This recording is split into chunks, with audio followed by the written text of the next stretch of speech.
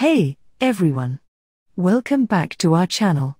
In today's video, I'll guide you through the quick and easy process of sharing a Google Sheet on WhatsApp. It's a handy trick, so let's dive right in. Firstly, open Google Chrome on your computer. Once you're in, look for the three dots in the upper right corner. Click on them to reveal a menu. From the options, click on Google Drive. If you're using a different browser, you can simply search for Google Drive. Once Google Drive is open, locate and click on the Google Sheet that you want to share. Now, click on the Share button located in the top right corner. This will open a new window with various sharing options.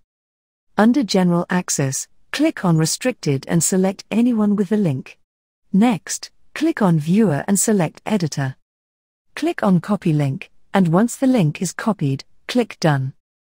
Now, head over to your WhatsApp and paste the link to the person you want to share the Google Sheet with. And there you have it. You've successfully learned how to share a Google Sheet on WhatsApp. If you found this video helpful, don't forget to give it a thumbs up, and please consider subscribing for more useful tutorials.